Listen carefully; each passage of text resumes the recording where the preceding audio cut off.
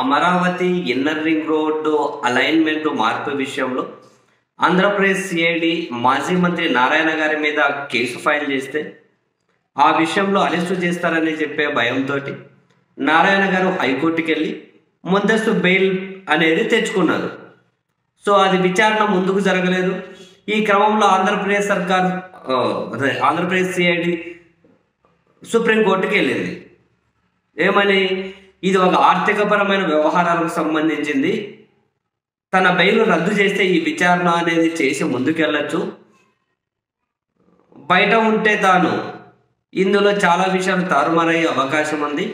కాబట్టి నారాయణ బెయిల్ను రద్దు చేయండి అని చెప్పి ఏ ఎస్సిఐడి అనేది సుప్రీంకోర్టుకి వెళ్తే సుప్రీం దాన్ని విచారించినటువంటి జస్టిస్ గవాయ్ జస్టిస్ నాగరత్నాలతో కూడినటువంటి ధర్మాసనం జగన్మోహన్ రెడ్డి గారి సర్కార్ మీద చిందులేసింది. మీ రాజకీయపరమైన కక్ష తీర్చుకోవడం కోసం మమ్మల్ని ఎందుకు ఇన్వాల్వ్ చేస్తారు?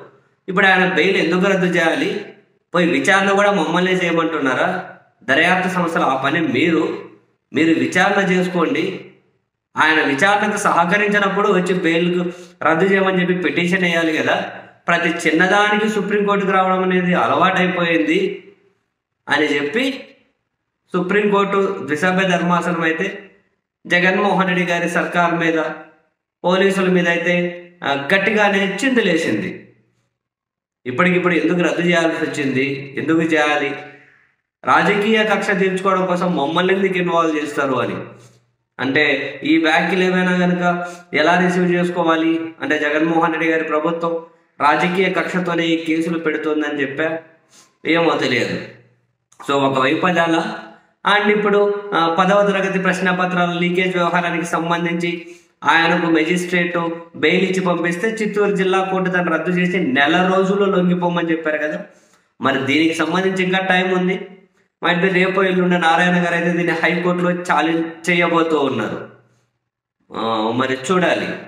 మరి హైకోర్టు పదవ తరగతి ప్రశ్న పత్రాల లీక్ వ్యవహారంలో చిత్తూరు జిల్లా కోర్టు ఇచ్చి చేసినటువంటి బెయిల్ రద్దును హైకోర్టు సమర్థిస్తుందో లేకపోతే ఆ బెయిల్ రద్దు తీర్పు మీద స్టే ఇస్తుందో అన్న విషయం అయితే చూద్దాం but Amaravati alignment ring road మార్పు విషయంలో మాత్రం సుప్రీంకోర్టులో జగన్మోహన్ రెడ్డి గారి సర్కార్కి మరోసారి ఖచ్చితంగా కనుక చొక్కెదురైనట్లే. మరి ఈ విషయంలో ఎలా ముందుకెళ్తారు ఏదో మొదలెడతారు అవి ఎక్కడికక్కడ మధ్యలో ఆగిపోతూ ఉంటాయి ఏది సక్కంగా ముందుకు పోయినట్లు లేదు పాడు లేదు. దానికి మరి ఎవరు కారణం అని చెప్పాలో